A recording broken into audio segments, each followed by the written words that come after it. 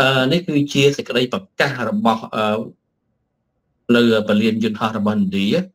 ដែលគេបានអឺរំលឹកប្រជាពលរដ្ឋគេមុននឹងគេធ្វើដំមុននឹងប្រជាពលរដ្ឋគេធ្វើដំណើរចេញទៅប្រទេសខ្មែរអឺ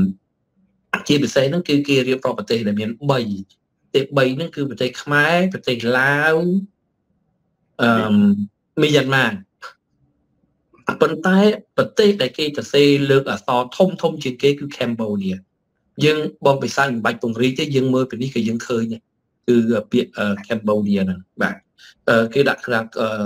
អក្សរខ្មែរហ្នឹង Cambodia ហ្នឹងគឺសរសេរអក្សរធំធំតែម្ដងអឺគេបានរំលឹកថាតើអ្នកទៅធ្វើការនៅប្រទេសខ្មែរមែនឬអ្នកទទួលបានការងារល្អពីប្រទេសខ្មែរមែនឬហើយជាងទៅបានគេប្រាប់ គេจะសេអសររៀបរាប់ខាងក្រោមមានករណីឆោបោកជាច្រើនពាក់ព័ន្ធទៅនឹងការបញ្ឆោតឲ្យទៅធ្វើការងារប្រទេសខ្មែរដោយសន្យាថាបានប្រាក់ខែខ្ពស់ប្រាក់ខែល្អប៉ុន្តែទៅដល់នោះត្រូវបានគេចាប់បង្ខំឲ្យធ្វើការ scam ធ្វើការរកឆោបោកតាមអនឡាញហើយជាដើមគឺគេរៀបរាប់អំពីគ្រោះថ្នាក់ដែលយើងទៅគេទៅធ្វើដំណើរទៅប្រទេសខ្មែរហើយអ្វីដែលយើងអឺ ចម្លែកនោះគឺនៅពលានយន្តហោះឥណ្ឌាប៉ុន្តែផ្លាកនឹងសរសេរជាភាសាអង់គ្លេសបាទអញ្ចឹងមានន័យថាអ្វីដែលគេហាមប្រាមអ្វីដែលគេដាក់សេចក្តីបំរាមនេះមិនមែនត្រឹមតែគេដាក់ជនជាតិឥណ្ឌាគ្នាគេទេ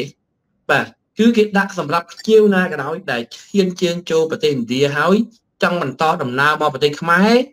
គឺត្រូវប្រុងប្រយ័ត្ន ចំពោះគ្រោះថ្នាក់ពីការចាញ់បោកជនឆោបោកនៅក្នុងប្រទេសខ្មែរនេះវាជាការផ្ទះកំភ្លៀងដ៏ធ្ងន់ទៅលើរបបហ៊ុនម៉ាណែតដែលទើបតែឡើងកាន់តំណែងបានមួយឆ្នាំនេះគឺជាការអឺខោកហើយនឹងសំពងយ៉ាងយ៉ាងដំណំក៏ប៉ុន្តែក៏វាមិនមែនជាកំហុសក៏វាមិនមែនជាចេតនាអាក្រក់របស់ប្រទេសឥណ្ឌាដែរបងប្អូន មិនមែនជាចេតនាអាក្រក់របស់ឥណ្ឌាមិនមែនជាចេតនាអាក្រក់របស់ប្រទេសកូរ៉េឬក៏ប្រទេសជប៉ុនទេគឺជាការទទួលខុសត្រូវក្នុងនាមគេជារដ្ឋាភិបាលគឺគេទទួលខុសត្រូវទៅដល់ប្រជាពលរដ្ឋគេគឺគេបានបង្ហាញគឺបានក្រាបរំលឹកនៅពេលដែលប្រជារដ្ឋគេដើរទៅតំបន់ណាដែលមានតំបន់គ្រោះថ្នាក់តំបន់ដែលមានហានិភ័យខ្ពស់គឺគេត្រូវតែធ្វើការក្រាបរំលឹកចឹងហើយគឺជាការទទួលខុសត្រូវរបស់គេបាទអញ្ចឹងសូមអឺ រដ្ឋាភិបាលខ្មែរកុំមានការខឹងសម្បាទៅលើប្រទេសឥណ្ឌាប្រទេសជប៉ុនហើយនិងកូរ៉េអ្វីដែលខឹងសម្បាគួរតែខឹងសម្បាទៅលើហ៊ុនសែន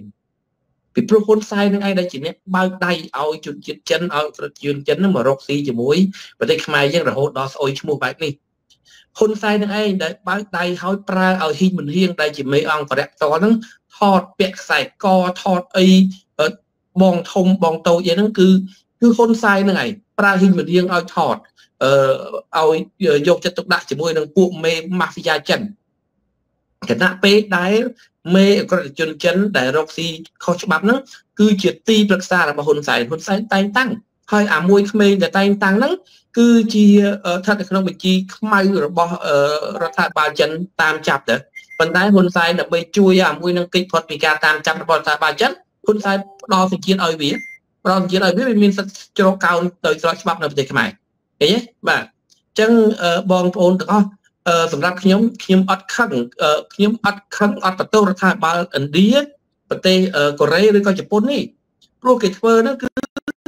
ជាការទទួលខុសត្រូវរបស់គេគេមិនចង់ឲ្យប្រជាពលរដ្ឋគេខ្លាចជនរងគ្រោះគេធ្វើអញ្ចឹងហើយបាទអ្វីដែលជាកំហុសកំហុសគឺរបបតកូលហ៊ុននឹងឯងដែលធ្វើឲ្យខ្មែរយើងនឹងខូចឈ្មោះស្អុយឈ្មោះខ្លាយទៅជាបែបហ្នឹងព្រោះអានេះវាជាការពិត វាមិនមែនជាការប្រឌិតដើម្បីបង្ខូចឈ្មោះខ្មែរយើងទេប៉ុន្តែវាគឺជាការព្រួយបារម្ភពីសុខភាពរបស់ប្រជាពលរដ្ឋគេបាទនឹងបងវិសាចហើយអ្វីដែលដែលយើងចាប់អារម្មណ៍ការសរសេរនៅឥណ្ឌាហ្នឹងគឺមិនមែនសរសេរជាភាសាឥណ្ឌាទេគឺសរសេរជាភាសាអង់គ្លេសតែម្ដងគឺថាគេមិនមែនត្រឹមតែបញ្ញាអារម្មណ៍ប្រជាពលរដ្ឋ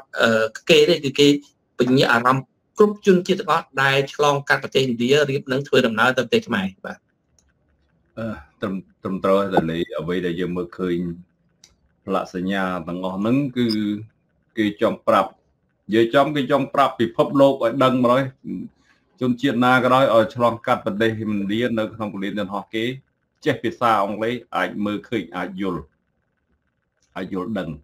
ហើយរឿងបញ្ហាដែលហេតុអីប្រទេសខ្មែរវាធ្លាក់ខ្លួនដល់ថ្នាក់ហ្នឹងបងប្អូនគឺដោយសារតែអាមេដឹកនាំ ពុកអលួយហ្នឹងអាមេដឹកនាំដែលវាត្រូវការតលុយ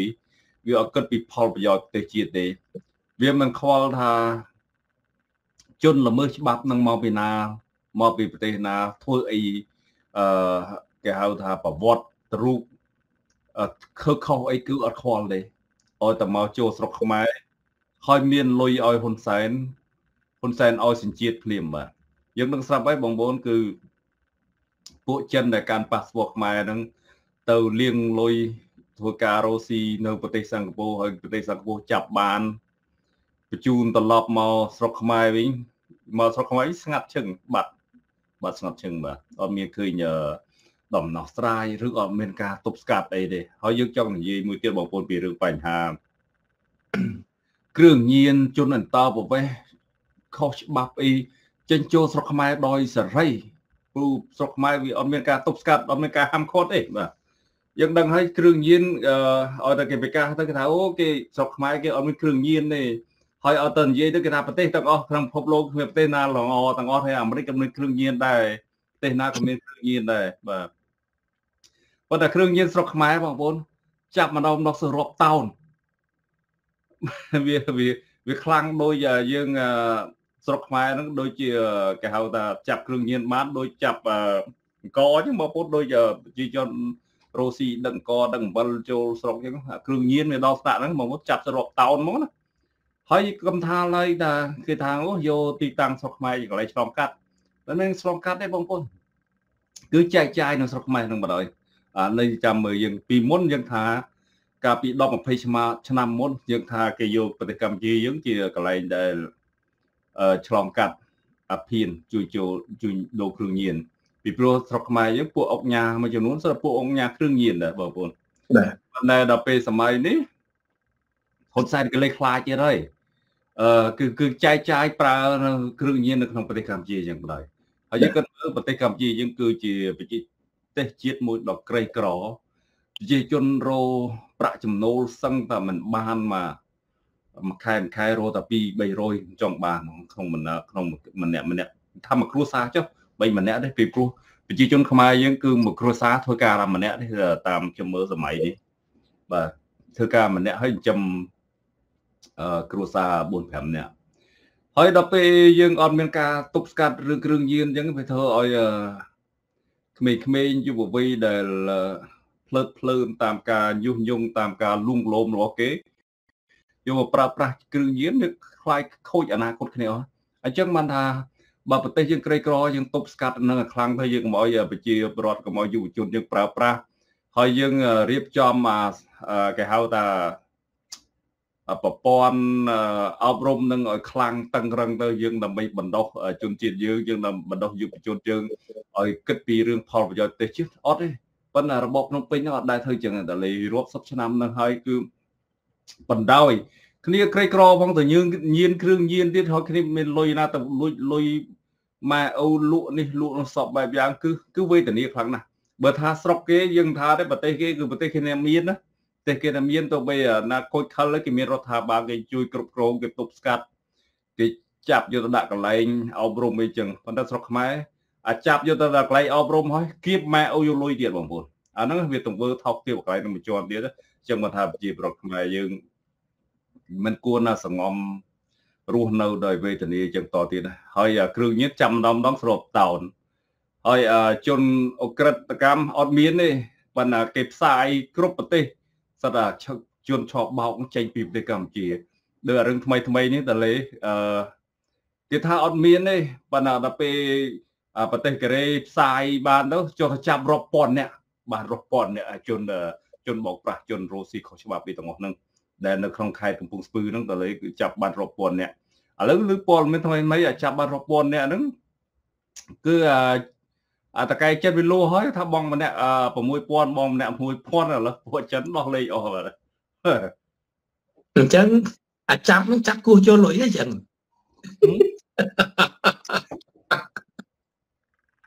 ចំ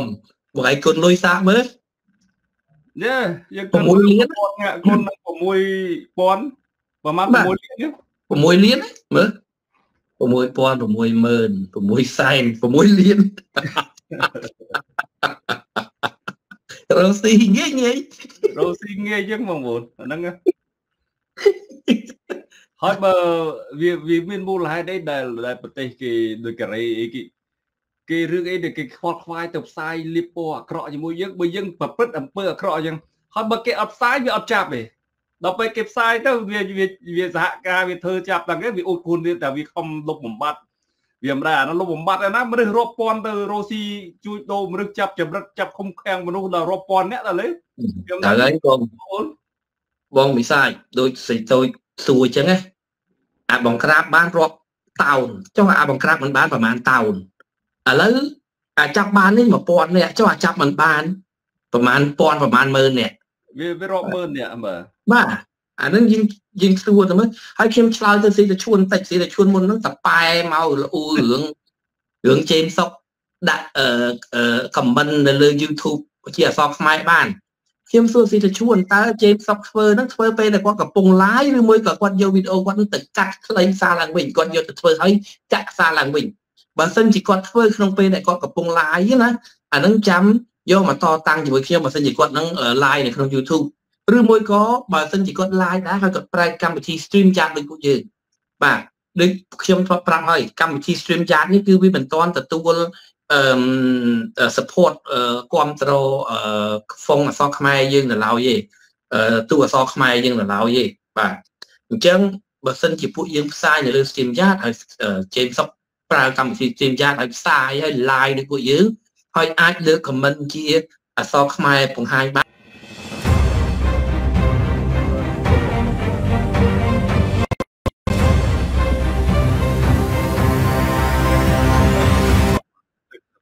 សុំទោសច្រឡំមាត់ច្រឡំដកតលេចុះទៀត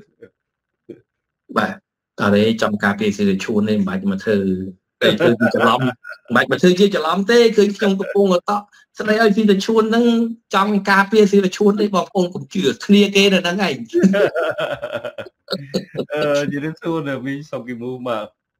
អឺមីគឺខ្ញុំឃើញដែរខ្ញុំខ្ញុំមិនចង់ឆ្លើយនឹងគាត់គាត់អឺគាត់អត់យល់ជេមសុកធ្វើអីជេមសុកគាត់ប្រើអា screen TV នៅពីក្រោយហ្នឹងគាត់ប្រើ computer វាបាញ់ចូលឃើញតែអសហ្នឹងក្រោយ គឺអសរនៅក្រោយខ្នងជេមសុកហ្នឹងឯង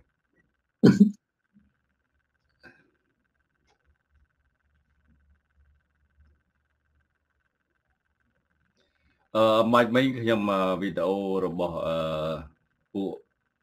Fresh News គេផ្សាយដែលមានបន្ថែមទៀតទេមុននឹងយើងចូលដាក់វីដេអូហ្នឹង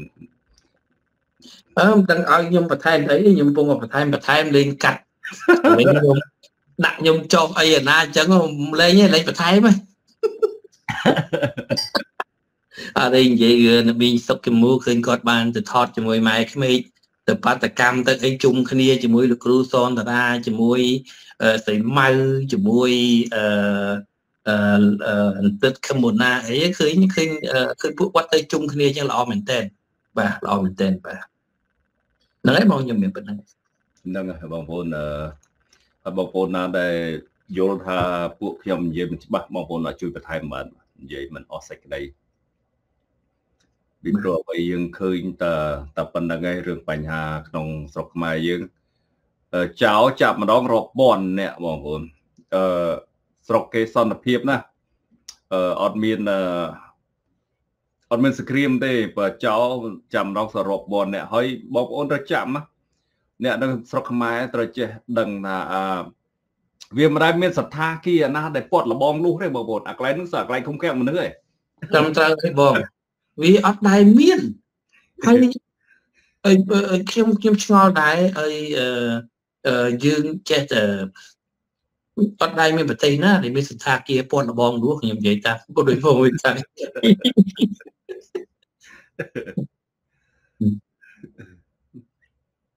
ហើយបើយើងចេះថាស្រុកខ្មែរបងប្អូនបើមានសន្តាគារណាពាត់លបងនោះបើយើងដើរកាត់យើងឆ្លងកាត់ញឹកញាប់យើងញាប់គេចាប់ឡើយចាប់សួរចម្លើយយើងមកធ្វើអីធ្វើអីឡើយបើវាចាប់សួរចម្លើយក្រងខ្លាចវាចាប់ចូលទៅក្នុងលេងឲ្យចេញដែរអឺនឹងហើយបងប្អូនកុំជឿហើយ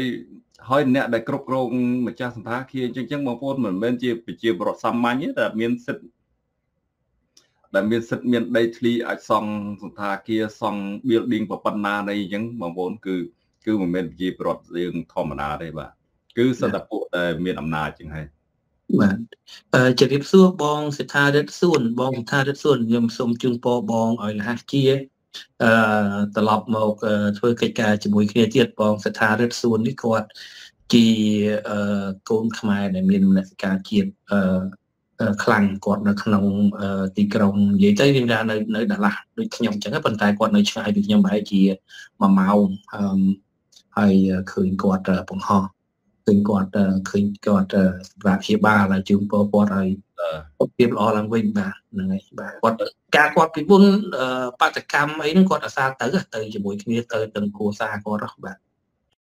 បាទខ្ញុំក៏យ៉ាងដែរជូនពរឲ្យគាត់ថាជាសត្វស្បើយមកដើម្បីមក ធ្វើការយើងបន្តទៀតអឺលពូវណ្ណដូវែនស៊ីតាជួនហ្នឹងខ្ញុំមិនច្បាស់គាត់នៅណាទេប៉ុន្តែគាត់អួតខ្លួនថាគាត់ចេញចូលស្រុកខ្មែរម្ល៉េះបើគាត់អញ្ចឹងមានតែគាត់នៅក្រៅប្រទេស profile profile គាត់ហ្នឹងគាត់ដាក់ថាគាត់នៅកាណាដាប៉ុន្តែបងវិសាបើយើងមិនដឹងដល់នៅណាពិតប្រកបបងគាត់ធ្វើជាប្រាប់យើងថាគាត់ចេញចូលស្រុកខ្មែរតាមពិតគាត់នៅស្រុកខ្មែរហ្នឹងបែបដែរ យេបងសិនសាឡនចិត្តរសានេះបងស៊ីតជួនភាសាអង់គ្លេសហ្នឹងបានដាក់ចូល YouTube បានវា support បើអា font ខ្មែរយើងនឹងវា support ខ្ញុំតាក់ទងវាដែរអត់មានណាឆ្លើយតបមកវិញបាទខ្ញុំនឹងព្យាយាមតាក់ទងក្រុមហ៊ុន StreamYard នឹងបន្តទៀតនៅលើសកលលោកនេះគ្មាន ប្រទេសណាមួយដែលល្អឥតខ្ចោះដោយគ្មានអំពើអ ுக ្រិតកើតឡើងសោះនោះទេប្រទេសណាក៏មានដែរប៉ុន្តែកត្តាដែល គេគេចាប់ដើមគេនិយាយជាងលើសកលលោកនេះគឺអត់មានណាដែលល្អខ្ចោះទេណាអបៈនេះដល់ទៅពេលនិយាយនៅក្នុង Fresh News វាដូរសលេងចាការនិយាយនៅអាស៊ីសេរីមិនសលេងអញ្ចឹងណាអឺវាបើជាវានិយាយនៅអាស៊ីសេរីមានសេរីភាពវានិយាយអត់ខ្លាចខុសប៉ុន្តែពេលមកនិយាយនេះគឺត្រូវតែប្រឹកព្រាតដែលថាខុសមួយម៉ាត់គឺធ្ងន់រឿងហ្នឹង ហើយមុខនឹងមុខនឹងនិយាយនឹងប្រាំងហ្មងមើលមុខមិននិយាយបើនិយាយតាមតម្រួលដោយខ្ញុំមិនបងវិសាអីមុខធម្មជាតិហ្មងអត់មានចាប់បាច់ប្រឹងអាប៉ែនេះនិយាយប្រឹងហ្មងឃើញមើលយកយើងពួកយើងនេះអត់មានសម្ពាធទេណាអត់មានសម្ពាធណាគៀបសង្កត់យើងពីក្រោយឲ្យនិយាយទេនោះគេនិយាយដោយការគៀបសង្កត់ដោយការប្រុងប្រយ័ត្នមិនមែននិយាយពេលដា ប៉ុន្តែខ្ញុំជឿថាគេទៅសេអត្ថបទរួចហើយមុននឹងនិយាយគេសេអត្ថបទដាក់ screen ពីមុខឲ្យគេអានណាដោយភាគច្រើនដោយស្អីនាងម្នាក់ស្អីដែលដែលទៅសុំទោសហ៊ុនម៉ាណែតហើយឈប់ចេញលោនឈប់ចេះផ្សាយនោះស្អីគាត់ថាហ្នឹងហើយគាត់គាត់គាត់ថាហ្នឹងអា show របស់គាត់គេដាក់ screen អសររត់ពីមុខហ្នឹងហើយអាន ដល់និយាយផ្ទាល់ដូចដូចយើងចឹងទេបាទឥឡូវយើងស្ដាប់អឺម៉ាយរិទ្ធនេះបងប្អូនម៉ាយរិទ្ធ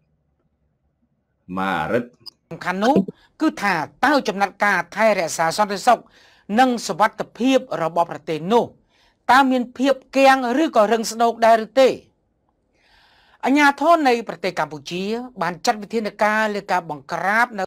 នៅបងប្អូនឃើញឃើញអាកន្លែងគេបង្ក្រាបនឹងនៅខេត្តកំពង់ធំនោះมันទូចទេលេមើលក្រុមហ៊ុនបាទប៉ុណ្ណានៃលឹងស្កឹមស្កៃហើយរឿងអីដែលអញ្ញាធននឹងមើលមិនឃើញអត់អត់អត់អត់ឆែកឆេអត់មានដឹងថាក្រុមហ៊ុននឹងរស់ស៊ីអីខ្ញុំអត់ស្គាល់អត់អត់យល់អំពើសង្ស័យមួយតាក់ទងនឹងសេចក្តីរាយការណ៍អំពីការជួញដូរនិងចាប់ជំរិតមនុស្សដោយជនបរទេសមួយក្រុមក្នុងប្រទេសកម្ពុជា ប្រតិបត្តិការបង្ក្រាបមួយកាលពីថ្ងៃប្រហ័សទី24ដុល្លារឆ្នាំ2024នៅភូមិដើមអង្គរងឃុំអង្គពពែលស្រុកកងពិសីខេត្តកំពង់ស្ពឺ បានឃាត់ខ្លួនជនបរទេសជាតិចិននិងកូរ៉េខាងត្បូងប្រមាណជាង1000នាក់ការបង្ក្រាបនៅក្នុងខេត្តកំពង់ស្ពឺនោះមិនមែនជាករណីលើកដំបូងនោះទេ កម្ពុជាបាននឹងកំពុងស្ថិតក្នុងយុទ្ធនាការបង្ក្រាបអំពើជួញដូរមនុស្សចាប់តាំងពីថ្ងៃទី18សីហាឆ្នាំ2022នោះមកឃើញទេបងប្អូនអឺវាដាក់ចំណងជើងវាថាកម្ពុជាមិនអនុញ្ញាតឲ្យប្រទេសរបស់ខ្លួន ជាទឹកដីប្រើប្រាស់ដោយក្រុមក្រតជនទេប៉ុន្តែអារឿងរ៉ាវបង្ក្រាបនេះគេថាមិនមែនជាលើកដំបូងទេបងប្អូនគឺ អានេះវាស្ថានភាពវិញមិនលើកទី1ទេគឺគឺការបង្ក្រាបហ្នឹងមិនលើកទៅមួយទេប៉ុន្តែគេហាមមិនអោយប្រទេសកម្ពុជាហ្នឹងមិនមែនជាកន្លែងអក្រិតជនគ្រប់គ្រងទេប៉ុន្តែការបង្ក្រាបនេះមិនមែនលើកទី1ទេគឺគេបង្កចាប់ផ្ដើមកំក្រាបដល់ពី2022មកម្លេះ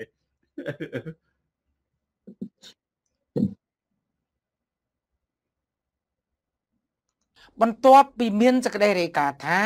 មានក្រុមទុច្ចរិតដែលមានប្រភពមកពីក្រៅប្រទេស បានសហការជាមួយនឹងបពពួកក្នុងប្រទេសកម្ពុជា បង្កនៅអំពើចាប់បង្ខាំងមនុស្សក្រោមរូបភាពលបួងមកធ្វើការក្នុងប្រទេសកម្ពុជា ដោយសន្យាឲ្យកម្រៃពលកម្មច្រើនប៉ុន្តែជាមួយនឹងការចាត់វិធានការបង្ក្រាបជាបន្តបន្ទាប់នោះ ក៏មានសេចក្តីរាយការណ៍មូលបង្កាច់បង្ខូចខ្លះរបស់បណ្ដាញសារព័ត៌មានមួយចំនួន ដែលនិយាយមិនពិតអំពីកិច្ចប្រឹងប្រែងរបស់កម្ពុជាលើការបង្ក្រាបការជួញដូរមនុស្សរបស់កម្ពុជានេះផងដែរក្រុមធ្វើនយោបាយជ្រុលនិយមត្រូវគេឃើញបានឆ្លៀតឱកាសទាញយកភាពចំណេញនយោបាយពីការផ្សាយមិនពិតនេះប្រើសម្ដីវាយប្រហារដាក់មកលើរាជរដ្ឋាភិបាលកម្ពុជាផងទៀត យោងតាមសេចក្តីប្រកាសរបស់ក្រសួងមហាផ្ទៃថ្ងៃទី25ដុល្លារឆ្នាំ2024មានការផ្សាយមួយចំនួន ជាពិសេសមកពីក្រៅប្រទេស បាននិយាយមូលបង្កាច់លៀបពណ៌ដាក់មកលើកម្ពុជាថា បណ្ដេតបណ្ដោយឲ្យមានការជួញដូរមនុស្សការបង្ខាំងមនុស្សដែលខុសច្បាប់ការធ្វើទរណកម្មលើពលករបរទេសនិងការបង្ខំឲ្យធ្វើការពាក់ព័ន្ធនឹង call center ខុសច្បាប់ ក្រសួងមហាផ្ទៃបានថ្កោលទោសចំពោះការផ្សាយព័ត៌មានដែលខុសវិជ្ជាជីវៈទាំងនោះដោយចាត់ទុកជាការផ្សាយគ្មានប្រភពច្បាស់ការឬផ្សាយយកពីក្រុម MMO ដែលជាក្រុមបង្កើតវេទិកាដើម្បីរកលុយតាមប្រព័ន្ធអ៊ីនធឺណិតជាមួយនឹងការយករូបភាពចាស់ចាស់ដែលសមត្ថកិច្ចកម្ពុជា ធ្លាប់ចុះបង្ក្រាបកន្លងមកដោយផ្គុំបញ្ចូលគ្នារួចអត្ថាធិប្បាយបំផ្លាស់ពីការពិតហាក់បីដូចជាគម្រោងផែនការទុច្ចរិត ធ្វើឲ្យប៉ះពាល់ដល់ភាពស្អាតស្អំរបស់កម្ពុជាលើឆាកអូយកម្ពុជាមានភាពស្អាតស្អំណាស់ដល់ជួយមួយជួយបកស្រាយកម្ពុជាមានភាពស្អាតស្អំកន្លែងណាហើយចោតគេថាគេផ្សាយលៀបពណ៌កន្លែងណាឬប្រទេសកូរ៉េមួយទាំងមូលដែលគេប្រទេសគេក្រៅប្រទេសផងហើយគេអាចមកយកព័ត៌មានស្រុកខ្មែរគេដឹងថាកន្លែងនឹងលួយលាក់អ្នកឃុំឃាំងមនុស្ស ហើយអាយើងអាប្រទេសខ្លួនឯងយើងអ្នកដឹងគ្រប់គ្រងប្រទេសហ្នឹងយើងអត់ដឹងថាកន្លែងហ្នឹងឃុំឃាំងមនុស្សហើយយើងចោទគេថាគេលៀបពណ៌ដែរតើតើតើពួកនេះវាយកចេះខ្មាស់អៀនទេដែលនិយាយភាសាជាជាងមកបងប្អូនបាទអឺអ្វីដែលបុគ្គលម៉ាញ់រិទ្ធដែលលក់ក្បាលក្បត់អាស៊ីសេរីនេះអឺនិយាយឡើងនេះគឺចង់ធ្វើការវាយប្រហារមកលើអ្នកប្រជាធិបតេយ្យដែល បានរំលឹកជាច្រើនដងហើយរិះគន់នៅពេលដែលរឿងដ៏អាស្រូវនេះធ្វើឲ្យប៉ះពាល់ដល់ប្រទេសជាតិយើងមុខមាត់ប្រទេសជាតិយើងជាពិសេសគឺប៉ះពាល់ទៅដល់ជីវភាពរស់នៅរបស់ជាប្រវត្តិខ្មែរដោយការបាត់ភ្ញៀវទេសចរអឺ ហើយអីបានជាពួកយើងរំលឹករឿងនឹងហើយពេលនឹងយើងនៅតែបន្តវាយប្រហារទៅលើរបបតកោហ៊ុនពីព្រោះនៅពេលដែលរបបតកោហ៊ុនរំលាយគណៈបកសង្គ្រោះជាតិរបបតកោតកោហ៊ុនបានទទួលទណ្ឌកម្មពីអន្តរជាតិជុំទិសហើយវាអត់មានផ្លូវដើរគឺវាអត់មានផ្លូវដើរក្រៅតែពីយកប្រទេសខ្មែរទៅឲ្យប្រទេសចិនបង្ហូរជនអ ுக ្រិតជនរបស់ចិនចូលមកប្រទេសខ្មែរតាមអំពើចិត្តបាទ ហើយអឺពេលនោះគឺលោកសំរងស៊ីហើយនឹងអ្នកវិជាតបតៃរបស់យើងគឺមានការរិះគន់យ៉ាងខ្លាំងយើងបានបញ្ជាក់ប្រាប់ឲ្យថាហ៊ុនសែនកំពុងតែអូសប្រទេសខ្មែរឲ្យធ្លាក់ទៅក្នុងភាពមហន្តរាយនៅពេលដែលគាត់នៅពេលដែលយើងឃើញពួកក្រមជើងកាងរបស់ចិនមករស់នៅខេត្តកំពង់សោមហើយបង្កការកាប់ចាក់បាញ់សម្លាប់គ្នាចាប់ជំរិត ដីជាដើមផ្អើលទីក្រុងកំពង់សោមឲ្យបាត់ភ្ញៀវទេសចរអឺរ៉ុបបាត់ភ្ញៀវទេសចរអាមេរិកអស់គឺសិតតែពួកជនជាតិចិននៅទីក្រុងកំពង់សោមហ្នឹងគឺពួកយើងបានធ្វើការបង្ហាញបានធ្វើការបង្ហាញពីការព្រួយបារម្ភទៅដល់គ្រោះមហន្តរាយនៅនៅពេលដែលទង្វើហ៊ុនសែនធ្វើបែបនេះហេតុដូច្នេះហើយបានជាបច្ចុប្បន្ននេះនៅពេលរឿងនេះវាកើតឡើងដូចអ្វីដែលយើងព្រួយបារម្ភអញ្ចឹងបងពិសាចគឺมันខុសពីអ្វី ដែលលោកសំរងស៊ីក៏បើគាត់បានលើកឡើងទេដែលហ៊ុនសែននឹងទាញប្រទេសខ្មែរធ្លាក់ទៅក្នុងជ្រោះមហន្តរាយហើយនៅពេលដែលប្រទេសខ្មែរធ្លាក់ទៅក្នុងជ្រោះមហន្តរាយខ្ញុំសួរថាអ្នកណារងគ្រោះមុនគេគឺប្រជាពលរដ្ឋខ្មែរយើងហ្នឹងណាបាទឥឡូវនេះយើងសួរពួកគាត់មើលទីផ្សារស្ងាត់ចងំថាអត់មានអត់មានមនុស្សដើរនេះមុនទេហើយវាចូលលេខថាវាដោះសារថារដូវហ្នឹងភ្ញៀវទេសចរគេអត់ទៅដើរហើយវាទៅមើលប្រទេសថៃទៅមើលប្រទេសយួនយួនវាអត់មានប្រាសាទអង្គរវត្តដើម្បីតាក់ទាញភ្ញៀវទេណា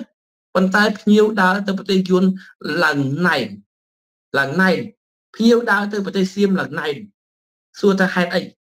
តើភ្ញៀវទាំងអស់ហ្នឹងវាអត់មានរដូវ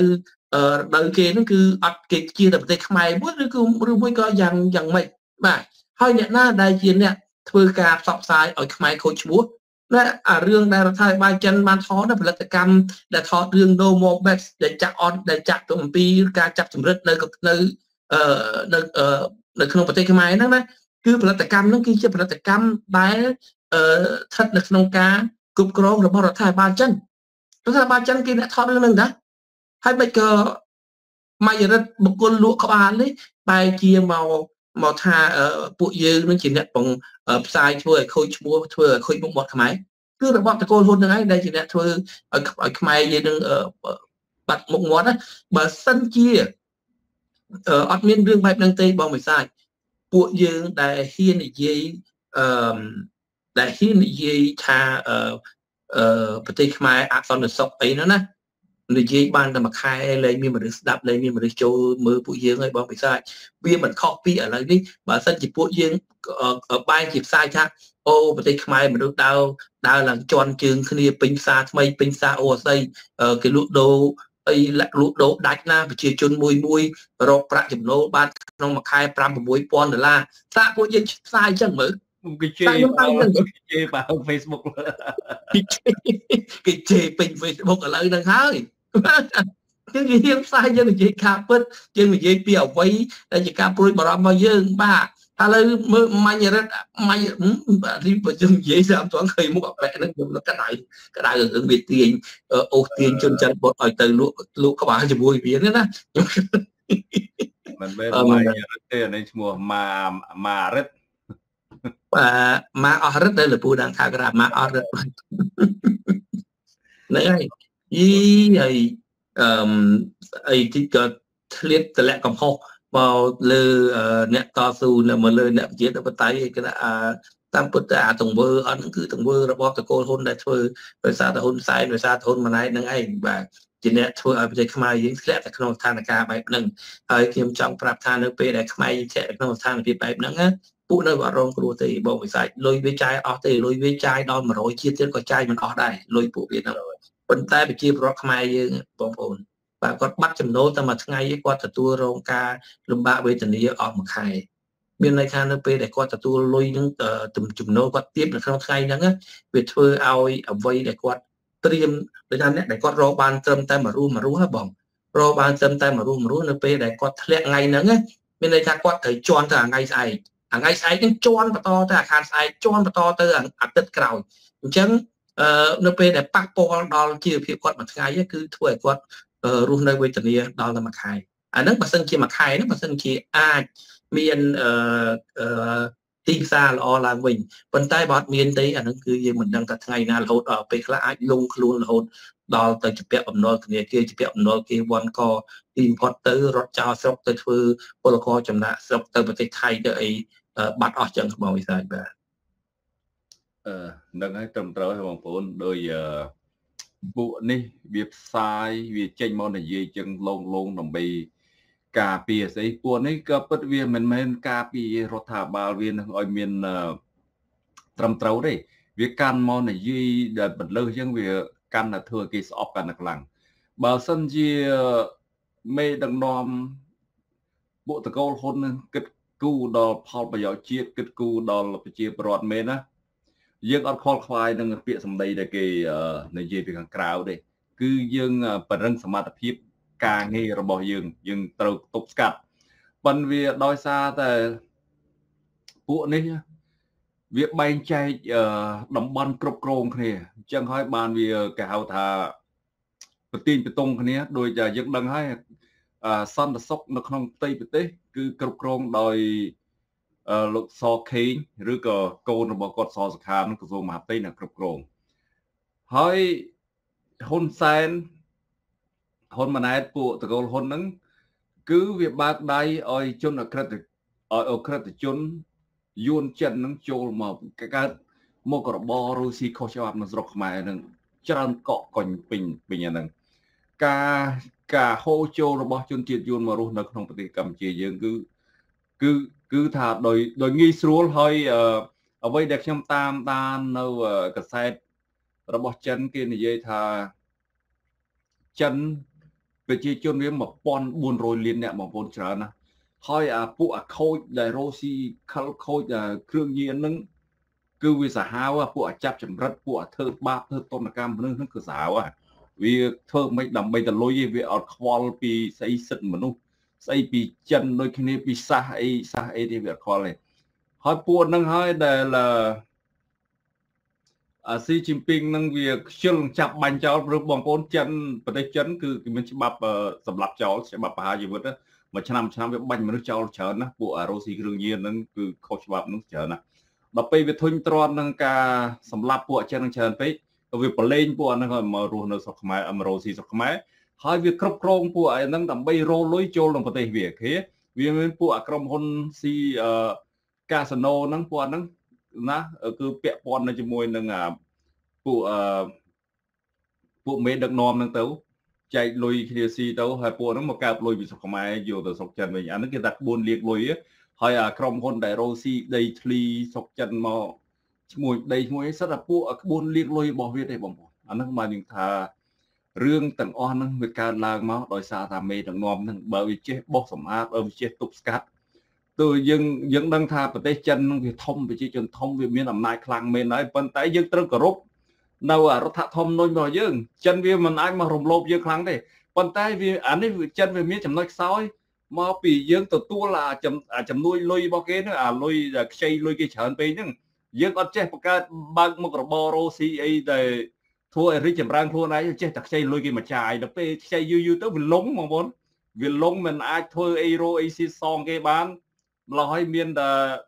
ចិនគេសំណូពោស្អីក៏ធ្វើបានទាំងអស់ហើយដូចជាឧទាហរណ៍ជាមួយពួកខាងកើតពួកយួនចឹងដែលយើងជាពាក់គុណគេដែលគេលើកបន្ទប់ឲ្យកាន់អំណាចមកហើយគេជួយការពារអំណាចក្រោយខ្នងរហូតហ្នឹងគឺជាពាក់គុណនៅកន្លែងហ្នឹងហើយគេធ្វើអីក៏បានដែលយើងក៏ហ៊ានទប់ស្កាត់ អត់ហ៊ានប៉ះពាល់ជាមួយចិនយួននេះអាកន្លែងហ្នឹងហើយជាទង្វើដែលថាយ៉ងគេជាទង្វើដែលថោកទាបបងប្អូន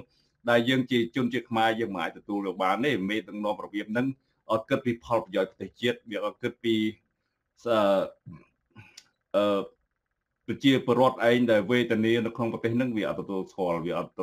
វាអត់ខ្វល់ពីរឿងហ្នឹងឯងបាទហ្នឹងឯងបងជារិយាបាទអរគុណ ហើយមិញខ្ញុំបានឃើញ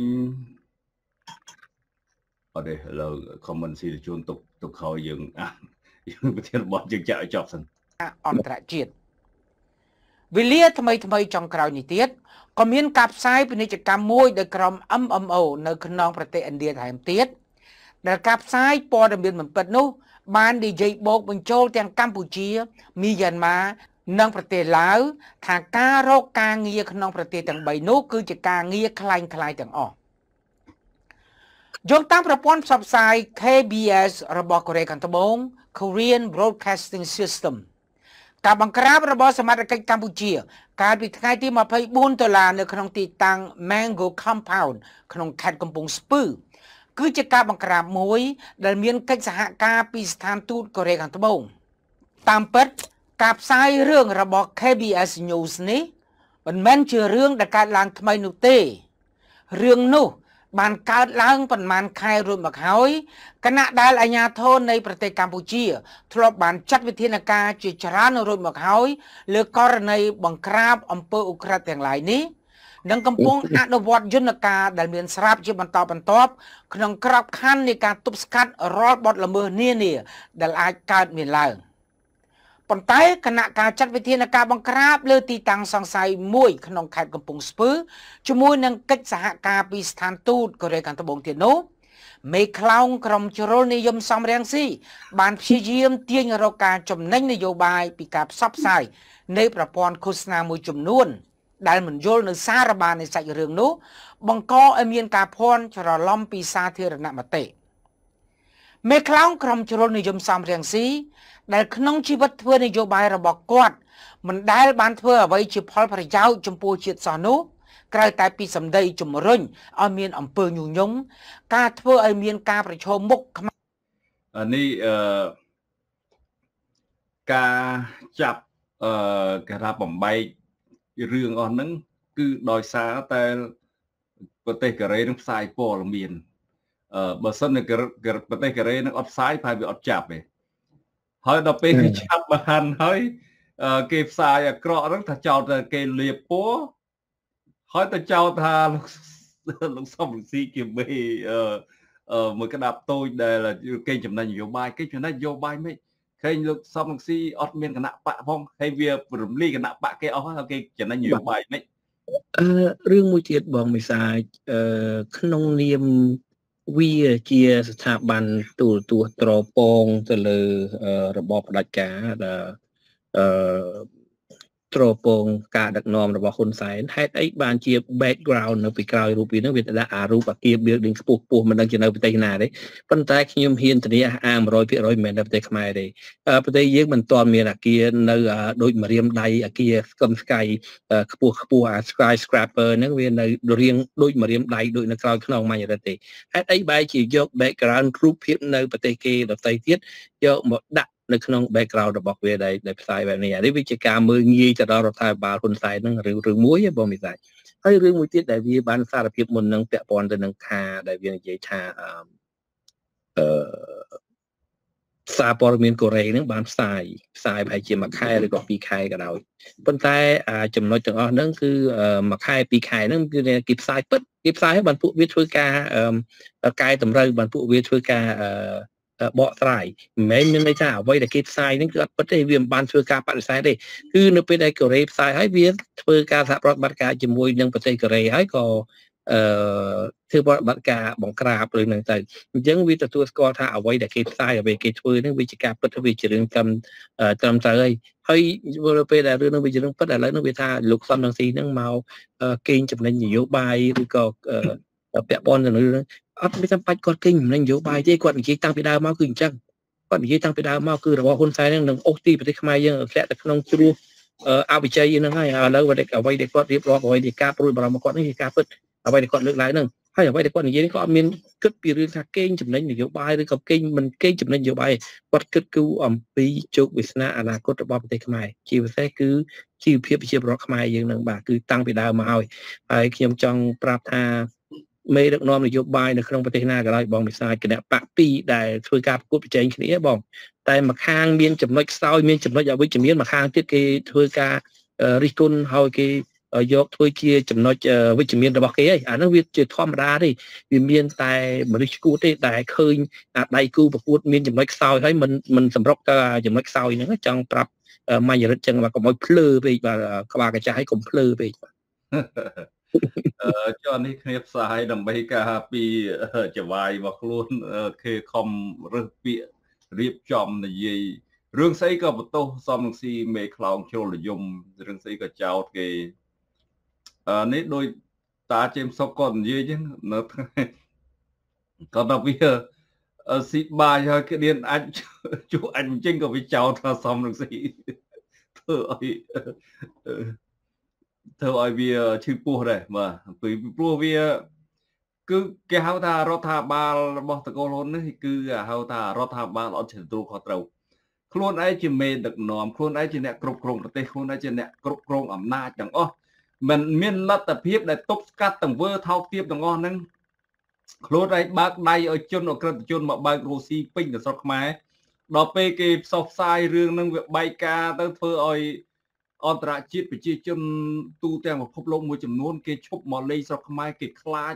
គេបារម្ភមករឿងហ្នឹងរោគប្រាក់ចំណូលមិនបានចោទថាគេចោទថាបពប្រឆាំងគេធ្វើអីញុះញង់លៀបពណ៌អឺគេចំណេញនយោបាយបងប្អូនត្រូវតែយល់មនុស្សយើងបើយើងធ្វើល្អប្រទេសយើងគេទទួលស្គាល់ប្រជាអ្នកទេសចរទៅដើរលេងច្រើនណា ទោះបីសំរងស៊ីខំញុះញង់បណ្ណាក៏ដោយក៏គេមិនជឿដែរប៉ុន្តែមកពីយើងអាវាមានអាតង្វើអាក្រក់អាថោកទាបអាយើងបំផ្លាញជាតិទៅខ្លួនឯងនឹងដើម្បីទៅអំណាចដើម្បីទៅផលប្រយោជន៍ផ្ទាល់ខ្លួនក្រុមគ្រួសារសពបែបយ៉ាងធ្វើឲ្យធ្លាក់បាត់បង់នៅសេដ្ឋកិច្ចខ្លួនឯងដើរចោតគេចោតឯងពួកនេះវាអត់មានចេះទទួលខុសត្រូវពួកនេះគូក្បាលលៀមនិងគូក្បាលវាទៅវិស័យនេះបងប្អូនមនុស្សយើងត្រូវមានគេហៅថាទំនួលខុសត្រូវ យើងជាអ្នកដឹកនាំប្រទេសមិនល្អប្រទេសរីកចម្រើននេះនៅលើដៃយើងដឹកនាំទៅមិនលើដៃណាអ្នកគេរិះគន់ទេគេរិះគន់គេរិះគន់ស្ថាបនាគេរិះគន់ដើម្បីឲ្យយើងរីកចម្រើនគេរិះគន់គេរិះគន់អាចំណុចខ្សោយដែលយើងមានហ្នឹងបើយើងអត់មានសមត្ថភាពដឹកនាំប្រទេសផងហើយយើងចោលគេតារិះគន់ថាគេរិះគន់ហ្នឹងធ្វើឲ្យប្រទេសយើងក្រីក្រ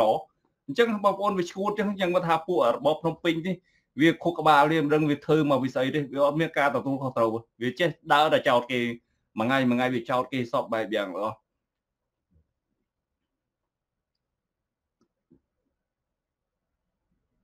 ខ្មែរនិងខ្មែរឆ្លោះគ្នានឹងការនិយាយអាក្រក់អំពីជាតិសាសន៍ខ្លួនឯងបានដុតនឹងឆេះករណីរឿងបង្ក្រាបនៅក្នុងខេត្តកំពង់ស្ពឺនោះ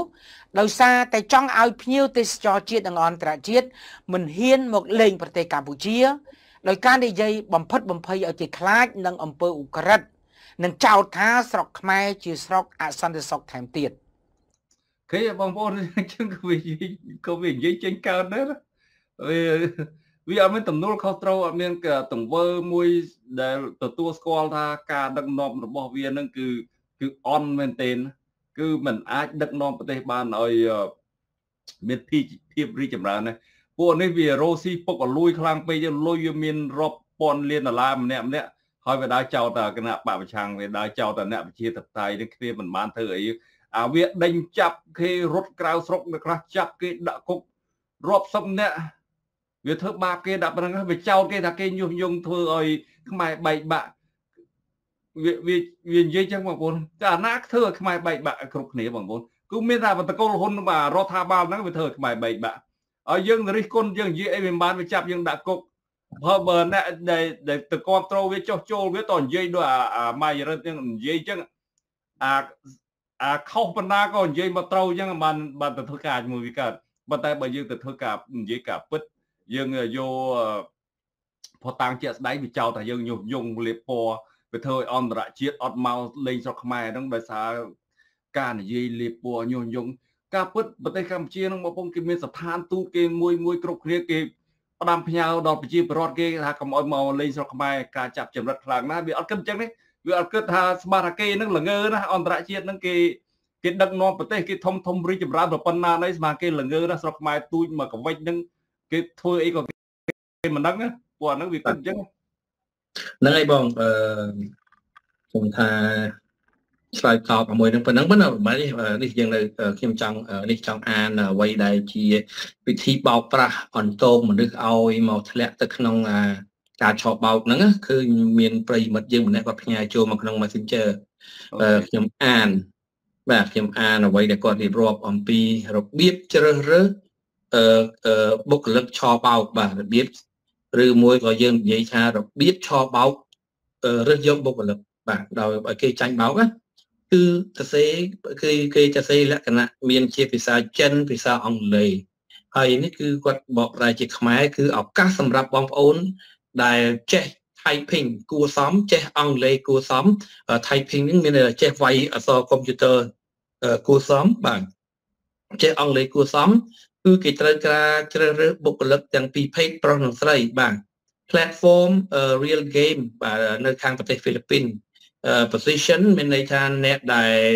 ទូនាទីគឺសម្រាប់ធ្វើ customer service មានន័យថាអ្នកទទួលភ្ញៀវបាទប្រាក់ខែគឺ800ដុល្លារឃើញទេប្រាក់ខែ800បាទសម្រាប់អ្នកមានបទពិសោធន៍ហើយអ្នកដែលអត់មានបទពិសោធន៍បាន700បាទហើយតម្លើង50ដុល្លាររាល់ខែបាទបាទតម្រូវឲ្យចេះ typing ចាប់ពី40អឺ 40ឡើងបាទអានេះទៅតាមខ្ញុំអឺគិតអឺជាធម្មតាគេរៀបរាប់ typing គេដាក់លេខ40នេះមានន័យថា40ពាក្យក្នុង1នាទីបាទកម្រិតនៃការវាយលបឿននៃការវាយអក្សរហ្នឹងគឺ40ពាក្យនៅក្នុង1នាទីបាទហើយភាសាអង់គ្លេសចេះត្រឹម40%ឡើងទៅសរសេរនិងអានបានបាទ day off គឺថ្ងៃឈប់សម្រាកគឺ2ថ្ងៃក្នុងមួយខែ ម៉ោងធ្វើការមាន2វេនគឺពីម៉ោង10ព្រឹកដល់ម៉ោង10យប់ហើយនិងម៉ោង10យប់ដល់ម៉ោង10ព្រឹកបាទបាយទឹកនៅលើក្រុមហ៊ុន3ពេលក្នុងពេលញ៉ាំបាយសម្រាប់បានកន្លះម៉ោងបាទអាចចុចទូរស័ព្ទបានពេលសម្រាប់ញ៉ាំបាយបន្ទប់ស្នាក់នៅត្រូវបានធានារ៉ាប់រងដោយក្រុមហ៊ុន បាទមានពាត់ខ្សែលួសយ៉ាងសុវត្ថិភាពអានេះខ្ញុំថែមនេះអាកន្លែងពាត់ខ្សែលួសនឹងខ្ញុំថែមទេបាទ បាទគេថាបន្ទប់ស្នាក់នៅត្រូវបានធានារ៉ាប់រងដោយក្រុមហ៊ុនគុំពាត់ទៅដោយកងកម្លាំងដែលខ្មាន់កំភ្លើងហើយនឹងខ្សែលួសហើយនឹងចរន្តខ្សែភ្លើងឆក់ខ្ញុំថែមនេះខ្ញុំថែមនេះតែគេសរសេរអញ្ចឹងមានបោកគេបានបាទគេសរសេរបន្ថែមទៀតបាទស្នាក់នៅខាងក្រៅបានស្នាក់នៅខាងក្រៅក៏បានដែរគឺថែមលុយឲ្យយីពីការងារក៏ល្អល្អយ៉ាងនេះបាទ ទីតាំងទីទីក្រុងបារិតបាវិតខេត្តស្វាយរៀងបាទកាស៊ីណូហេងហេងហេងហេង3ចំតិចមានពាក់ព័ន្ធនេះជាមួយនឹងគ្នាយើងហេងហេងលីដែរហេងហេង3ក្រោយផ្សាររាត្រីបាទអឺអានេះមួយទៀតបាទក្រុមហ៊ុននៅនៅបវិតដែរបាទជ្រើសរើសបុគ្គលិកផ្នែក blogger ប្រាក់ខែ800ដល់1200ដុល្លារថែមជាមួយនឹង commission បញ្ជាក់អាស្រ័យលើសមត្ថភាពពេលសម្ភារជាក់ស្ដែងចេះភាសាអង់គ្លេសនិងកុំព្យូទ័រ35ពាក្យឡើងទៅបាទគឺ35ពាក្យក្នុងមួយនាទីអឺសម្រាប់អ្នកមានបទពិសោធន៍ blogger គឺ Brazil អឺហ្វីលីពីនអូគឺជុំជុំអានេះឆោបោកយកមនុស្សតាំងពី Brazil ហើយនិងហ្វីលីពីនបាទអឺមានប្រាក់រង្វាន់រាល់ខែម៉ោងធ្វើការពីម៉ោង9យប់ដល់ម៉ោង9ព្រឹក ក្រុមហ៊ុនផ្ដល់កន្លែងស្នាក់នៅជូនអាហារ3ពេលស្នាក់នៅក្រៅបានថែមលុយចេញចូលសេរីបញ្ជាក់ចេះភាសាចិនកាន់តែល្អអាយ៉ាចេះភាសាចិនកាន់តែល្អប្រាក់ខែ1200ឡើងទៅក៏ប្រាក់ខែ1200បូកបន្ថែមជាមួយនឹងប្រាក់អឺ commission បាទមានប្រាក់រង្វាន់រាល់ខែមានន័យថាបាន bonus រាល់ខែទីតាំងក្រុងបាវិត ហេងហេង3ក្រោយផ្សាររាត្រីមួយទៀតអានេះក្តីប្រកាសរបស់គេហ្នឹងគឺលយហ្មងបាទប្រាក់ខែ700 500ទៅ700បញ្ជាក់អាស្រ័យលើសមត្ថភាពជាក់ស្ដែងអាយុយកពី18ទៅ28ឆ្នាំតម្រូវចេះភាសាអង់គ្លេស40ទៅ50%ចេះកុំព្យូទ័រ35ពាក្យឡើងទៅ ក្នុងមួយថ្ងៃសម្រាប់មួយមួយខែសម្រាប់មួយថ្ងៃម៉ោងធ្វើការពីម៉ោង9 យប់ដល់ម៉ោង9ព្រឹកក្រុមហ៊ុនផ្ដល់ជូនអាហារ3ពេលក្រុមហ៊ុនផ្ដល់កន្លែងស្នាក់នៅ បន្ទប់មានម៉ាស៊ីនត្រជាក់មានម៉ាស៊ីនបោកកៅអៅទីតាំងនៅបវត្តកាស៊ីណូហេងហេង1បាទអញ្ចឹងអាកាស៊ីណូហេងហេង1ហេងហេង2ហេងហេង3ហ្នឹងគឺសិតតែជាកន្លែងដែលគុំខាំងមនុស្សទាំងអស់បងវិសាចអរគុណណាបងបងប្រិយបងប្អូនប្រិយមិត្តយើងដែលគាត់បានផ្ញើការរៀបរាប់វិធីឆោបបោកនេះមកឲ្យក្រុមការងារយើងបានអានអំពីរបៀប គេអន្តងហៅមនុស្សបងវិសាចនេះបើស្ដាប់មើលទៅសម្រាប់អឺខ្មែរយើងក៏ដោយជនជាតិហ្វីលីពីនក៏ដោយបើយើងមើលទៅប្រាក់ខែសិតតែ800ឬក៏1000ហើយកន្លែងស្នាក់នៅគេផ្ដល់ឲ្យហើយអាហារ3ពេលទៀតបើឯងគិតមើលរឿងអីដែលថាមិនមិនចង់មកមកមកធ្វើការផ្សងព្រៃជាពិសេសសម្រាប់អ្នកដែលកំពុងតែជួបវិបត្តិក្នុងរោគការងារធ្វើអញ្ចឹងបងវិសាចបាទ ហើយសិទ្ធិការងារស្រួលស្រួលទៅត្រូវការតែមកចេះអង់គ្លេស35% 40%ហើយចេះវាយកុំព្យូទ័រ35ពាក្យក្នុងមួយនាទីអាហ្នឹងយើងមិនបាច់រៀនទេក៏យើងអ្នកចេះលេង Facebook ក៏វាយបានទេបងអា keyboard នៅលើហ្នឹងវាអត់សូវខុសគ្នាមកយើងវាយជាពាក្យយើងវាយជាអត្ថបទវាយអត់បានណាលឿនណាស់នៅស្រាប់អ្នក professional មែនមួយនាទី30ពាក្យគឺច្រើនអឺ ពីព្រោះតអ្នក professional ដល់ពពពពចាបើយើង professional អឺគេថាគេថាមន់មន់មន់ចិត្តស្រូវដូចចិត្ត piano អញ្ចឹងខ្ញុំនិយាយតាមស្រង់ខ្ញុំរៀនកុំព្យូទ័រតាំងពីក្មេងប្រើកុំព្យូទ័រតាំងពីក្មេងអឺរឿងវាយ keyboard ដោយមិនមើលហ្នឹងគឺនៅតែអត់ចេះទេបាទនៅតែអត់ចេះតើយើងហាត់វាយរាល់ថ្ងៃយើង ប៉ុន្តែបើគេចាំពាក្យចាំអក្សរទៀតយើងក៏វាអឺទៅសេជាភាសាអង់គ្លេសយើងក៏យើង spell យើងឡើងតមើលអត្ថបទអឺចេះបងប៉ុន្តែមានអឺនិយាយទៅខ្ញុំវាមិនតូចចិត្តទេដោយសារអី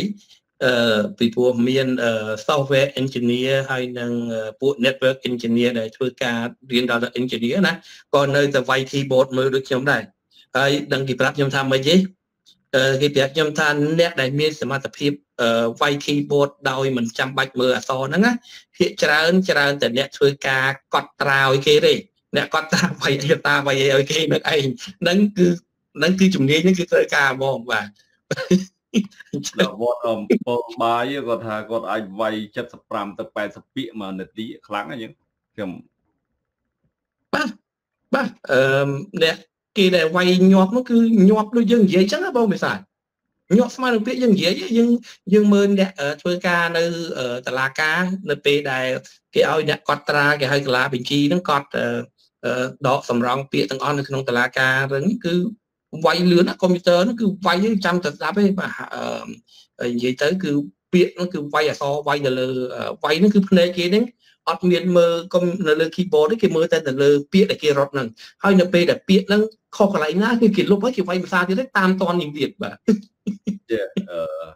ពួកគេជំនាញខាងហ្នឹងគឺគឺប្រកែមានដោយវត្ត7បាយក៏ថាវាយមួយនាទីបាន70 80 100 80អសអញ្ចឹងគឺខ្លាំងណាស់ខ្ញុំសុំសរសើរខ្ញុំទៅរួចទេខ្ញុំបកបកបកបកវ៉ាន់ចិត្តស្រូវ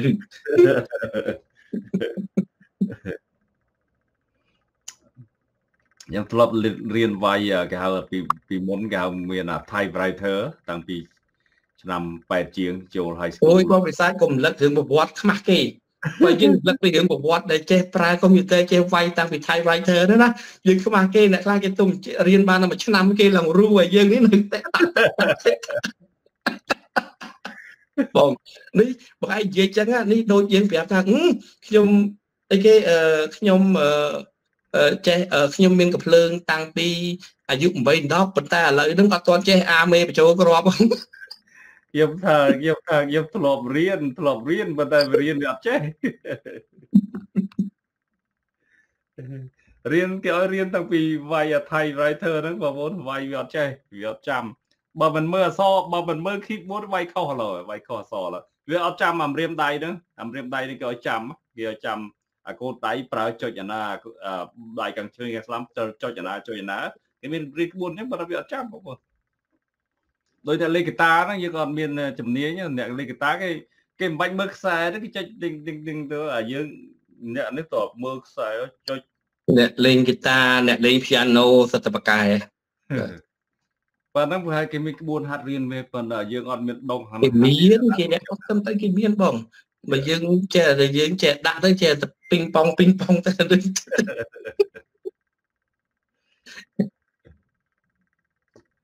អឺហ្នឹងហើយអឺ super among us pro នេះគាត់ថា it seem very attractive position in Cambodia casino but the job uh definitely very unrealistic and dangerous អឺបើបើអាចភាសានឹងអាការរើស ការងារហ្នឹងបងប្អូនបើចំពោះប្រជាពលរដ្ឋយើង ខ្មែរកូនខ្មែរអ្នកនៅតាមជនបទហើយគេជឿមែនហើយគេជឿពីព្រោះបើគេអត់ដឹងថាទីផ្សារក្នុងប្រទេសកម្ពុជាវាប៉ុណ្ណាណាបើយើងមើលកម្មកររោងចក្រគ្នាធ្វើចង់ងាប់គ្នាបានដល់ខែ200 300ហើយរឿងអីដែលកាស៊ីណូនឹងវាហ៊ានឲ្យមួយខែ700បងប្អូនដល់1000 តើវាបានលុយពីណាមកហើយ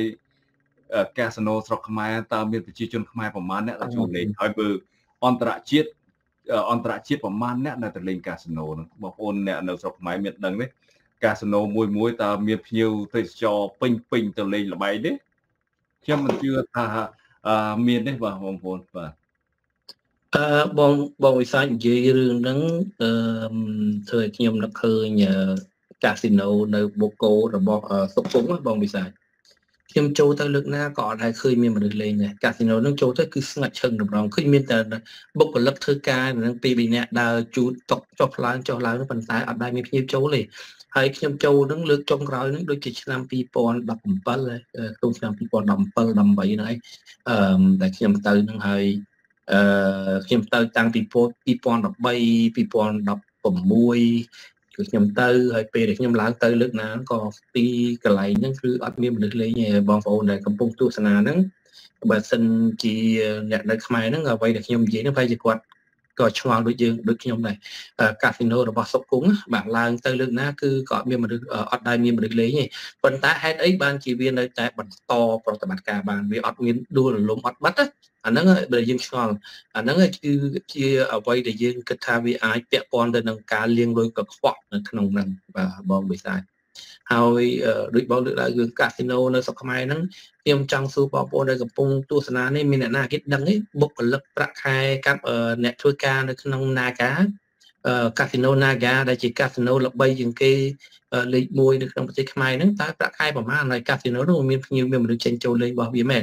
ប៉ុន្តែយើងចង់ដឹងថាពួកគាត់នៅហ្នឹងធ្វើការបានប្រាក់ខែប្រមាណហើយប្រាក់ខែរបស់ពួកវាប្រកាសមិញហ្នឹងសេ500 800 700ដល់ទៅ1200ហើយកាស៊ីណូនៅប៉ោយប៉ែតទៀតអាហ្នឹងខ្ញុំ ចង់ដឹងថាវាខុសគ្នារបៀបម៉េចប្រាក់ខែសម្រាប់ដែលហ៊ានបើកឲ្យបុគ្គលិកដល់ទៅតម្លៃប្រាក់ខែប៉ុណ្ណឹងបាទអញ្ចឹងយើងធ្វើការប្រៀបធៀបបងវិសាច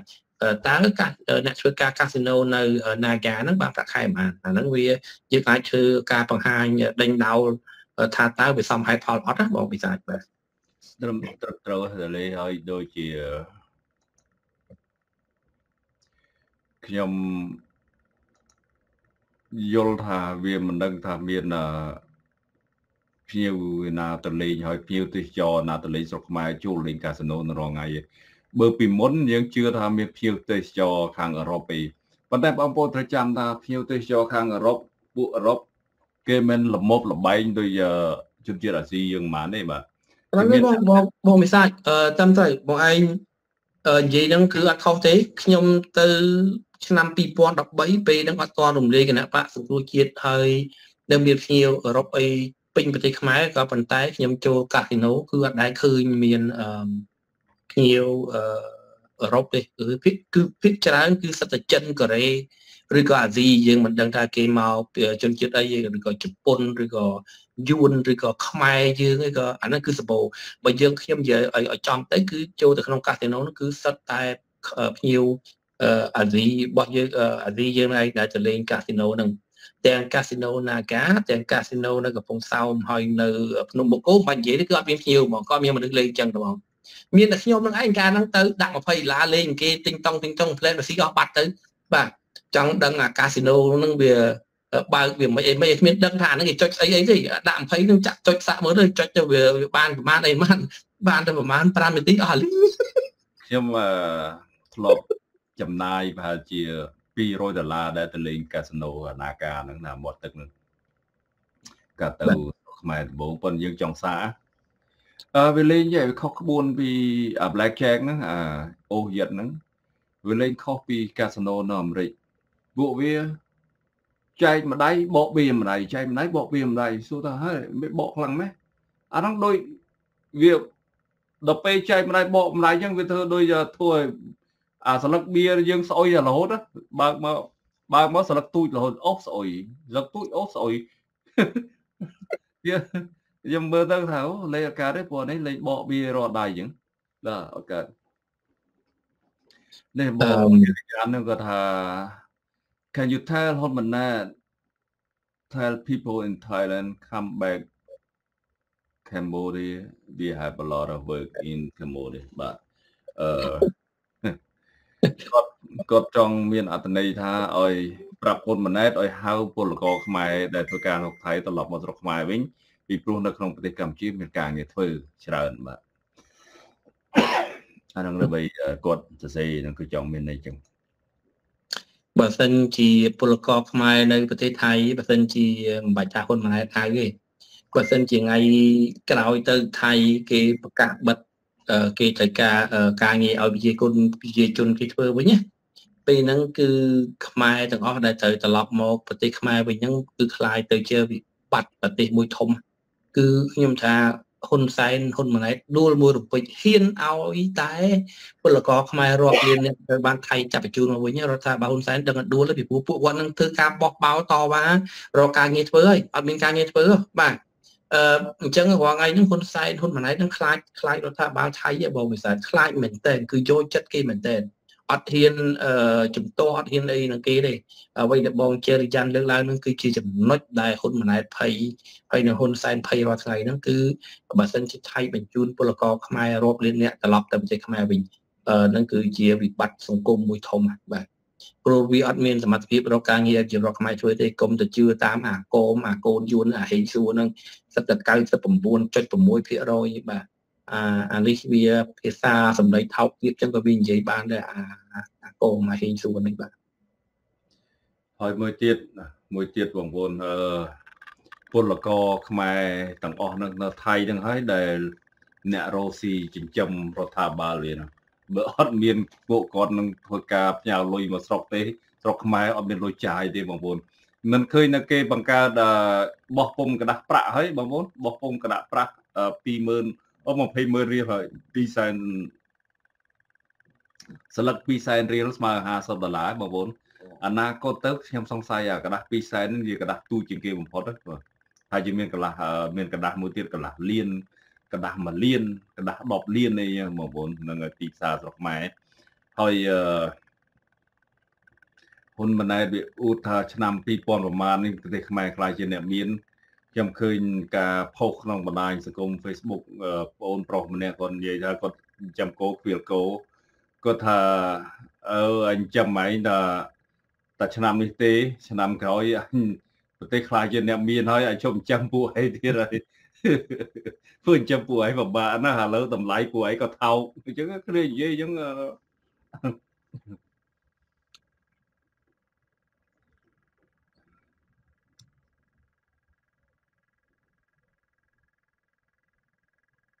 កំសត់ណាបងវិសាលសេងសំទៅថាព្រឹកមិញចេញទៅថៃត្រង់រយអ្នកទៀតបាទបាទ ហ្នឹងហើយអឺខ្មែរយើងអត់ការងារធ្វើទៅស៊ីឈ្នួលគេទៅថៃអ្នកខ្លះហ្នឹងក៏ស៊ីឈ្នួលគេស្របច្បាប់ទៅអ្នកខ្លះហ្នឹងស៊ីឈ្នួលខុសច្បាប់ទៅត្រូវបានតកែត្រូវបានអីធ្វើបាបឲ្យកំថាហើយនៅថៃបើទៅម៉ាឡេហ្នឹងក៏រងគ្រោះច្រើននៅជាពិសេសស្ត្រីខ្មែរនៅតែម្ដងវាអឺខ្ញុំនិយាយឲ្យត្រង់បងវិសាលខ្ញុំហួសចិត្តមនុស្សមួយចំនួនដែលប្រើភាសាថាហ៊ុនសែនដឹកនាំប្រទេសបានប៉ុណ្ណឹង ដឹកនាំប្រទេសបានរីកចម្រើនខ្ញុំមិនយល់ថាពួកនឹងវាយកស្អីមកនិយាយបងវិសាលនិយាយតាមត្រង់តើការរីកចម្រើននៅក្នុងប្រទេសមួយគេវាស់ទៅលើអីអត់ដឹងគេអត់អត់ដឹងខ្ញុំនិយាយឥឡូវបាច់មើលអីទេយើងមើលអំពីនៅសហរដ្ឋអាមេរិកបើយើងប្រៀបធៀបសហរដ្ឋអាមេរិកជាមួយនឹងប្រទេសថៃចុះយើងបាច់ថានេះយើងនិយាយពីប្រទេសថៃនៅទីក្រុងបាងកកហើយនឹង និយាយអំពីភូមិមួយនៅក្នុងរដ្ឋតិចសាសឬក៏ភូមិមួយនៅក្នុងរដ្ឋ Philadelphia ដូចជាភូមិដែលបងមិនសាច់នៅបើយើងប្រៀបធៀបពីអាគារស្កឹមស្កៃខ្ពស់ខ្ពស់ជាមួយនឹងទីក្រុងបាងកកនៃថៃគឺទីក្រុងបាងកកគឺអាគារខ្ពស់ខ្ពស់ដាច់ប៉ុន្តែបើយើងនិយាយបើយើងនិយាយអំពីប្រាក់ខែប្រៀបធៀបប្រាក់ខែមនុស្សដែលរស់នៅទីក្រុងបាងកកជាមួយនឹងប្រាក់ខែ មនុស្សដែលរស់នៅតំបន់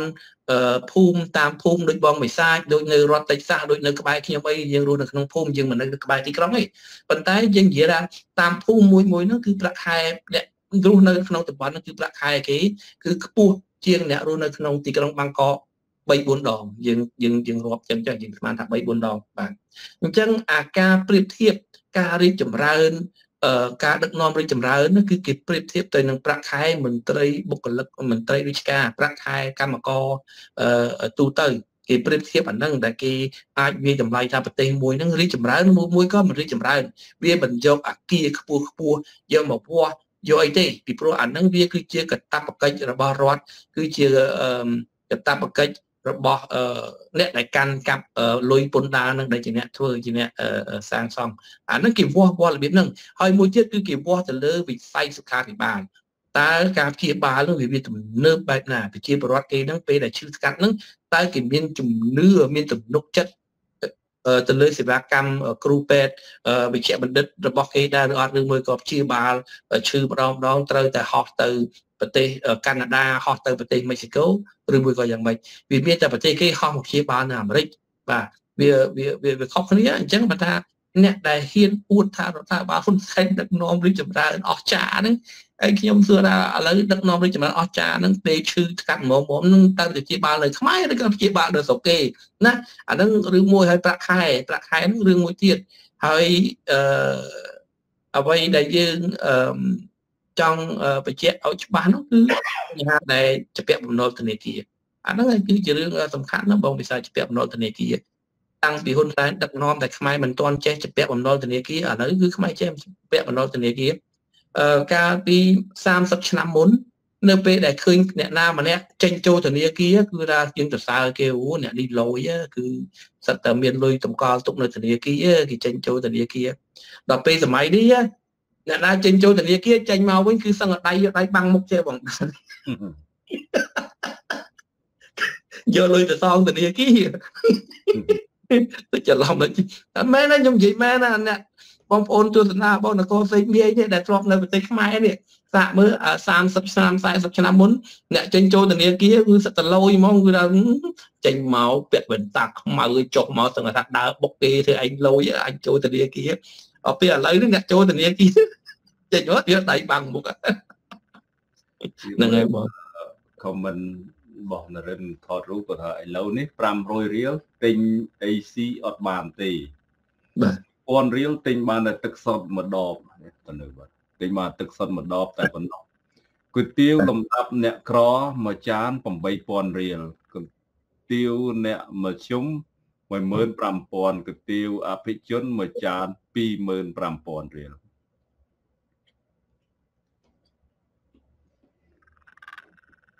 ហើយកាទៀវមួយចានអញ្ចឹងហើយបានថាតិចទៀតកាទៀវមួយចានលុយមួយសន្លឹកអាលុយបោះពុំថ្មីហ្នឹងហើយយើងកាទៀវគេបែងចែកលំដាប់ទៀតណាកាទៀវអ្នកក្រហ្នឹងមិនវាអត់សាច់ទេអឺមែនទេកាទៀវអ្នកក្រហ្នឹងកាទៀវតាមចើមផ្លូវបងបងឯងចង់និយាយអត់នេះសាច់ដូចគ្នាទេតាមពុតកាទៀវអ្នកក្រពេលខ្លះឆ្ងាញ់ជាងខ្ញុំទៅស្រុកខ្មែរខ្ញុំនិយាយតាមត្រង់ណា អីគេអាកាទៀវល្បីជាងគេនៅស្រុកខ្មែរនៅភ្នំពេញអាកាទៀវថ្មដាអាហ្នឹងគឺសិតតែអ្នកធំហើយអ្នកមានគេចូលទៅញ៉ាំនៅហ្នឹងឯងប៉ុន្តែខ្ញុំចូលចិត្តអីចូលអាកាទៀវនៅទល់មុខថ្មដាអាកាទៀវពេលយប់អាទល់មុខថ្មដាគេដាក់តុកដាក់តុកនឹងនឹងនឹងដីយ៉ាងថាកៅអីទៀតទៀតហ្នឹងអង្គុយហ្នឹងបាទញ៉ាំទៅអីអឺឆ្ងាញ់ណាស់ប្រហិតអីក៏ឈ្ងុយសាច់សាច់គោក៏ស្រស់ដាក់ទៅ កុំនិយាយអាកាទៀវនោះឆ្ងាញ់ជាងអាទល់អាអាថ្មដានោះផងខ្ញុំប្រាប់បងវិសាអើខ្ញុំនៅមុនខ្ញុំអត់ចូលចិត្តញ៉ាំអាម្ហូបតាមផ្លូវចឹងឯងហើយអឺឥឡូវនេះអត់សូវហ៊ានទេយើងវាមិនមែនថាទីបើយើងវាបានទៅវាបានទៅបើចង់និយាយថា ប្រហែលឆ្នាំចុងក្រោយនេះយើងល្បីអារឿងអាមហូបមានគីមីអាការយកសាច់ខូចគុណភាពយកអីមកលក់អីអីស្រុកខ្មែរយើងវាមានអារឿងបែបហ្នឹងច្រើនដល់ពេលអញ្ចឹងយើងវាខ្លាចដល់ការហូបហ្នឹងណាប៉ុន្តែមិនមែនមានន័យថាញ៉ាំកាទៀវនៅហាងមានសុវត្ថិភាពទេណាគឺអ្វីដែលល្អគឺធ្វើហូបខ្លួនឯងទៅបាទមានបងប្អូនធ្វើខ្លួនឯងអីចឹងទៅលើកលែងតែយើងធ្វើដំណើរទៅណាទៅណីទៅវាអត់នេះទេហើយមហូបដែលយើងអាចហូបបានមួយចំនួន ដូចជានំកញ្ឆាយលតឆាអីហ្នឹងអាហ្នឹងវាមិនអីទេខ្ញុំមិនសូវព្រួយបារម្ភទេម្ហូបចឹងចឹងប៉ុន្តែបើមានអីគេមានប្រហិតមាន hot dog អីដាក់លក់អីរុញតាមទូតាមតុកនេះអូខ្ញុំអត់ហ៊ានញ៉ាំទេនិយាយតាមត្រង់មានអ្នកមានអ្នកងោទៀតតលេជប់ទីផ្សារជុលមន់គេថាជប់សួរហើយសួរមុនអត់បានឆ្លើយបានអានគេសួរពីមុនសួររឿងអីអត់រត់មិនខំមើ លអឺផ្សេងគាត់ខមមិនមុនហ្នឹងគាត់ថាយប់មិញអត់មានអ្នកណានិយាយខ្ញុំចូលមើលយប់មិញអត់មានអូយប់មិញពួកខ្ញុំខានចត់នឹងគាត់សួរនៅកន្លែងណាហើយយើងសួរវិញមកថាអត់បានផ្សាយផងចូលមើលមិនគាត់មើលជំរឿន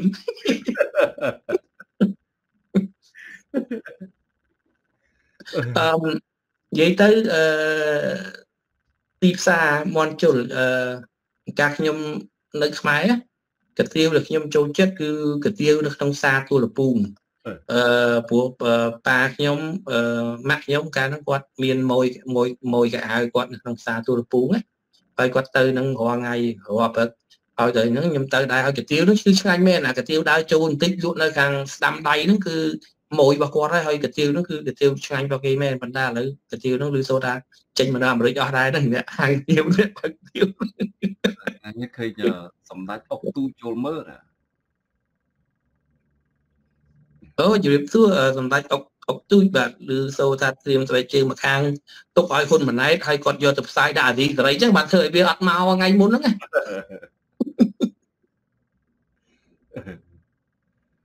ណាអឺ ខ្ញុំបបានរិទ្ធថតរូបឲ្យអាននៅ comment កុំឲ្យអានឈ្មោះខ្ញុំវាពិបាកធ្វើអញ្ចឹងពីព្រោះយើងតែអាន comment យើងត្រូវតែអានឈ្មោះហើយតែទេឥឡូវយើងធ្វើតាមសំណុំពរគាត់ហើយយើងអានតាមបានជូនតាមសំណើអានទៅអ្នកផ្សេងគេអត់សบายចិត្តទេតើអានឈ្មោះគេដែរគេអត់ទេតែគាត់មួយបានហើយតែគាត់មួយបានហើយបាទបាទបាទពុតឥឡូវចេះទៅដើម្បីឲ្យ គេថាគេថាឈ្នះឈ្នះយុទ្ធសាស្ត្រឈ្នះឈ្នះយើងអានខមមិនគាត់ប៉ុន្តែយើងហៅឈ្មោះទីផ្សារមន់ជូនកុំឲ្យគាត់ខាត់មានព្រោះមានអ្នកព្រោះមានអ្នក complain ថាអត់ហៅឈ្មោះគាត់ឥឡូវយើងហៅអ្នកដែលគាត់មិនហ៊ានបញ្ចេញឈ្មោះហើយយើងយកទៅដាក់ឈ្មោះអ្នកដែលគាត់ចង់ឲ្យយើងបញ្ចេញឈ្មោះអល់ផលថាប្រយ័ត្នប្រហិតសាច់អីតលេសាច់អីនិយាយសេច្បាស់មើលសាច់អីសាច់កណ្ដោ សាច់កណ្ដុលអឺខ្ញុំពីមុនខ្ញុំពីមុនឮសូរអាពាកនឹងដែរចេះតែខ្លាចទៅណាព្រោះតែខ្ញុំស្ដាប់ទៅវាមិនសមហេតុផលដែរព្រោះអឺកណ្ដុលហ្នឹងវាដូចជាមិនពិបាកដូចជានិយាយថាវាពិបាករជាងសាច់ជ្រូកសាច់អីបាទសាច់ជ្រូកសាច់គោវាស្រួលរទៅវិញឯង ហើយឥឡូវនេះសម័យនេះអាកណ្ដុលអាំងដាក់លក់តាមផ្លូវនោះឃើញដូចលក់ថ្លៃជាងសាច់គោសាច់ជ្រូកផងខ្ញុំមិនដឹងខ្ញុំខ្ញុំឃើញឃើញគេអាំងឡើងក្រហមងៅដូចជ្រូកខ្វាយយើងទំនោរណាឃើញគេដាក់ចកាត់អាំងឡើងឡើងឡើងឡើងក្រហមឡើងហើយអាហ្នឹងផ្លូវពីសៀមរាបផ្លូវសៀមរាបទៅកំពង់ធំតាមផ្លូវហ្នឹងចេញផុតបន្តិចមកហ្នឹងពីហួសអឺ មុនទៅដល់ស្រុកអីគេដែលមានស្ពានបុរាណណាដូចជាលើកដៃជាដំដៃដំដៃដែលមានស្ពានបុរាណហ្នឹងកំពង់ក្តីបាទចន្លោះហ្នឹងគឺមានលក់អីគឺកដលអាំងហើយអូយខ្ញុំមិនញើតខ្ញុំមិនដែរញ៉ាំទេបងបើនិយាយតាមខ្ញុំញ៉ាំមិនកើតទេខ្ញុំធ្លាប់ខ្ញុំធ្លាប់ញ៉ាំចុងសាដែរអូយខ្ញុំ ទោះបីគេថាកណ្ដុលស្រែនឹងគេចាប់ពីវាលស្រែចាប់ពីព្រៃមកក៏ដោយខ្ញុំនៅតែវានៅទៅជាប់ឈ្មោះជាកណ្ដុលណាបងនៅបងមលិនកែវដលៃអត់ឆ្លងកាត់សម័យពោតមលិនកែវដូចខ្ញុំហ្នឹងម៉ែពួតបានកដោនោះឆ្ងាញ់ជាងសាច់អីអឺសំណាងហើយគាត់អឺសំណាងខ្ញុំឲ្យកើតអត់តន់ហ្នឹងអញ្ចឹងមកតាខ្ញុំអត់អីទេទុកជូនបងវិសាចុះ